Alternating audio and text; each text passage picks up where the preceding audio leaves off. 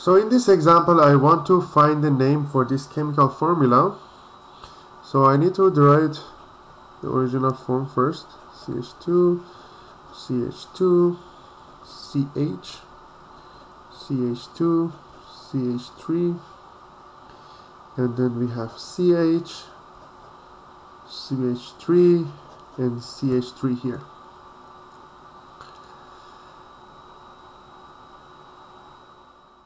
Okay, very good. So we have the main chain here.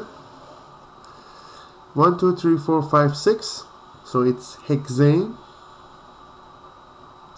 Do we need to start from this side or this side? We need to start from this side because the first substance here, the first one here is number two. The other one is going to be number four. So I need to start from here.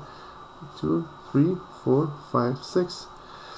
So we have two methyl and we have three ethyl. So I need to start it from the ethyl one. So we will have 3 ethyl because E comes before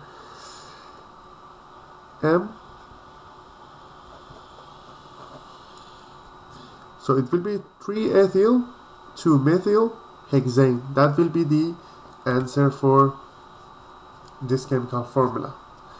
3 ethyl, 2 methyl, and hexane.